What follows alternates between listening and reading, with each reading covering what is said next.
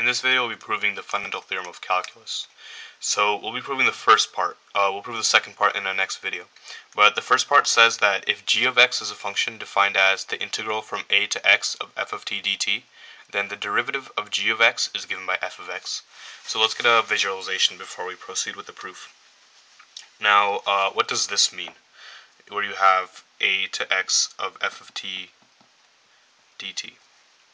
Well, that means that if you have a graph and you draw the graph of f of t, so let's just draw the graph of f of t, uh, looks like that, then from a, which is just some number a, and we're going to go all the way to x. So x is variable. x could be here, could be here, it's changing. But the point is, uh, the, this integral gives the area from here to here. And this is the t-axis in this case because uh, it's in terms of t or if x is here, gives all this area. So that's what it means. And it's saying that the derivative of the function, so it means that the rate of change of the area is given by f of x. So let's go ahead and attempt to prove it. So the first thing we're going to do in our proof is we're going to start how we always do. So we're going to take g of x plus h minus g of x because that's how a limit begins. Um, so if we have g of x plus h, remember that g of x is defined as a to x of f of t dt. Okay, so g of x plus h, that means you plug x plus h into here.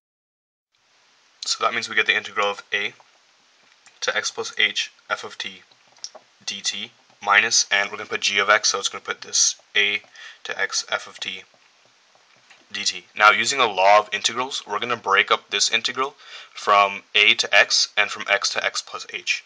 So we're going to do that at this point. So we're going to get rid of that integral, and we're going to replace it with a to x of f of t dt, and it's going to be plus integral from x to x plus h of f of t dt, and again we have to have that minus integral from a to x of f of t dt. Okay, so that's a valid move because this is a to x and this is x to x plus h, so together they're a to x plus h.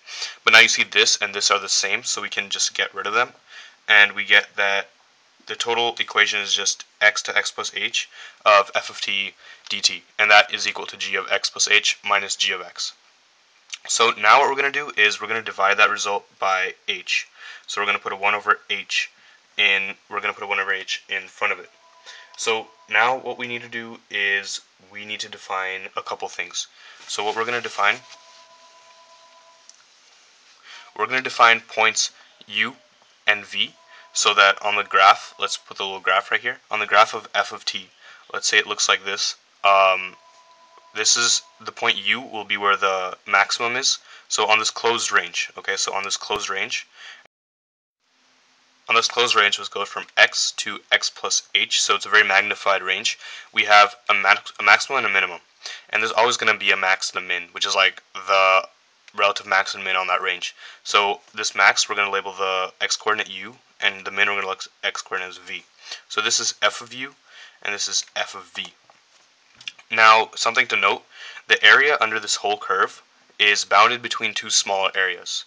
Let's take the smallest coordinate here and make a rectangle out of it. Then this area right here is smaller than the total area. But if we take the biggest x-coordinate and make a rectangle out of it on the same range, then we're going to get a bigger area. And algebraically, what this means is that if we have this area here, uh, then we uh, this is going to be less.